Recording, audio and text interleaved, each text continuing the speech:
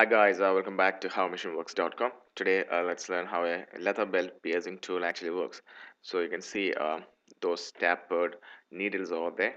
Those are of different dimensions used to pierce the hole. You can see the dimensions are also mentioned there as 2, 2.5, 3, 3.5, etc. So that tool is now in locked condition.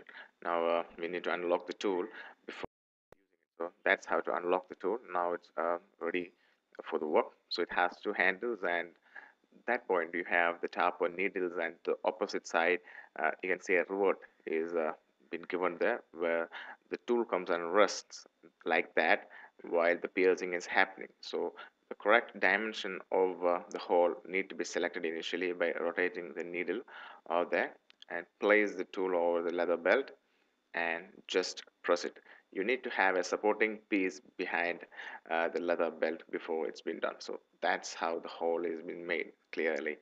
And now you can see it once again uh, place the supporting leather belt also behind. Now point it where we want to make the hole. So that's a small hole that's we're going to make over there so we pointed it and marked it. Now we're going to make the hole. Just press the tool and it's ready. So removing the supporting leather piece and our tool uh, have made the correct dimension hole on the leather belt over there. So you can see uh, that's been done.